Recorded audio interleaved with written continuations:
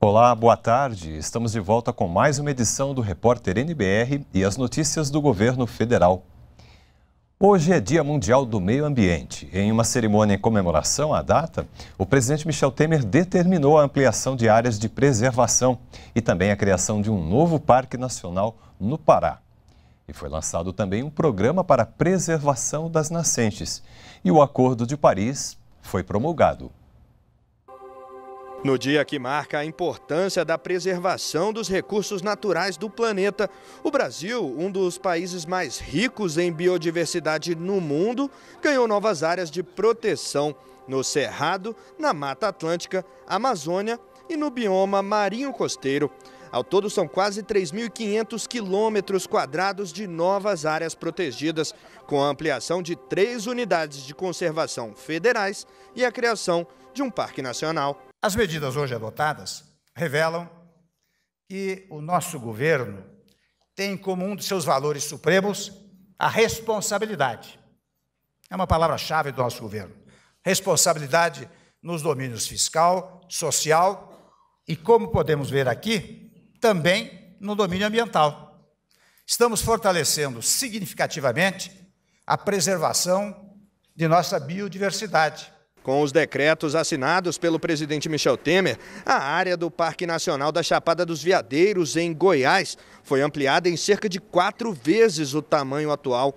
Passou de 650 para 2.400 quilômetros quadrados de cerrado, o que equivale a quase duas vezes a área da cidade do Rio de Janeiro. Vai garantir que a população de biodiversidade completa do bioma cerrado seja preservada, conservada como ela realmente merece. A estação ecológica do Taim, no Rio Grande do Sul, também foi aumentada em mais 22 mil hectares. Agora são 330 quilômetros quadrados de área protegida. No estado do Rio de Janeiro, a Reserva Biológica União teve a área ampliada em mais de três vezes, chegando a 86 quilômetros quadrados.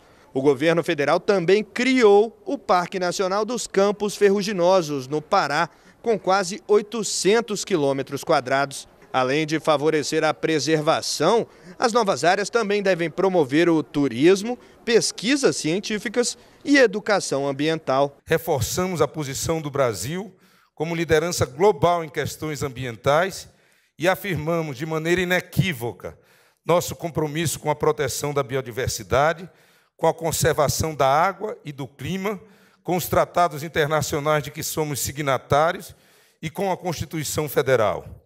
Honramos, assim, a responsabilidade que é coletiva de garantir o direito ao meio ambiente ecologicamente equilibrado. Também foi lançado o programa Plantadores de Rios, que pretende proteger e recuperar nascentes, rios e áreas de preservação permanente com a participação da sociedade. Uma das novidades do programa é a criação de um aplicativo para celular que vai conectar donos de áreas rurais e pessoas ou instituições que têm interesse em investir na recuperação de áreas degradadas. É um site de mobilização social que a gente espera que vai ter mais adesão, mais retificação e que permite que o produtor interaja com o padrinho, a madrinha e tenha assim a possibilidade de fazer uma manutenção adequada ou uma recomposição que houver é, que precisa ser feita. Neste Dia Mundial do Meio Ambiente, o presidente Michel Temer também assinou um decreto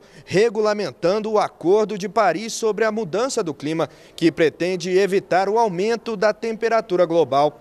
O acordo já havia sido ratificado pelo Brasil e entregue nas Nações Unidas no ano passado. E agora, com o decreto, se torna parte da legislação brasileira, com cumprimento obrigatório. É com profundo sentido de responsabilidade que acabamos de promulgar o acordo para que ganhe força de lei no Brasil, ou seja, hoje faz parte da estrutura do Estado brasileiro este tratado, este acordo. No documento, como meta individual, o Brasil se compromete a cortar as emissões de gases do efeito estufa em 37% até 2025, em relação a 2005, além de outras medidas.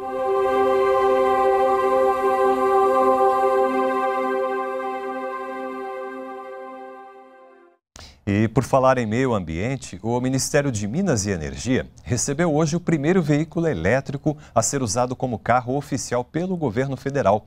A ideia é unir cada vez mais esforços para reduzir a emissão de gases que causam efeito estufa e aumentam a temperatura do planeta modelo é um veículo de passeio para uso urbano e tem autonomia para trafegar numa distância de 100 a 150 quilômetros. Além de não poluir o ambiente, pois não emite gás carbônico na atmosfera, o carro elétrico é mais econômico. O custo por quilômetro rodado do carro elétrico é 75% menor do que de um veículo movido a gasolina. É um símbolo importante para todos da inovação, trabalho desenvolvido já pela Eletrobras Itaipu e o primeiro carro oficial da esplanada 100% elétrico. Acho que isso vai muito ao encontro dos compromissos que o Brasil tem nos protocolos internacionais da redução de emissão de gases de efeito estufa, do aquecimento global. Nós vamos fazer a nossa parte, seja na geração do nosso combustível cada vez mais limpo, seja de poder manter a nossa matriz sempre renovável. O carro cedido ao Ministério faz parte do programa Veículo Elétrico que existe há 10 anos. O programa Veículo Elétrico é resultado de uma parceria entre a Itaipu Nacional, uma das maiores geradoras de energia limpa e renovável do planeta, e a KWO, uma empresa suíça de geração de energia. A frota do programa reúne ainda veículos compactos, ônibus e até um avião de pequeno porte tudo movido a energia elétrica. A grande preocupação nossa é, é, é essa, gerar energia elétrica limpa. Agora, junto com essa geração de energia elétrica, nós desenvolvemos também essas outras atividades, todas voltadas à geração limpa de energia, todas voltadas a termos um planeta mais limpo em termos de emissões. O Plano Nacional de Segurança Pública, criado para intensificar o combate à criminalidade no Brasil, entra agora em uma nova fase. O anúncio feito pelo presidente Michel Temer foi feito agora há pouco nesta tarde. A repórter Luana Karen está no Palácio do Planalto e tem os detalhes sobre esse assunto para a gente. Olá, Luana, boa tarde para você. Olá, Roberto. Boa tarde. Boa tarde a todos. Pois é, o presidente Michel Temer afirmou que o Plano Nacional de Segurança Pública vai começar a ser posto em prática de forma mais sistematizada na cidade do Rio de Janeiro. O anúncio foi feito durante uma reunião que conta com a participação do governador do Rio de Janeiro, Luiz Fernando Pezão, do prefeito do Rio, Marcelo Crivella, de deputados estaduais, federais e de autoridades cariocas.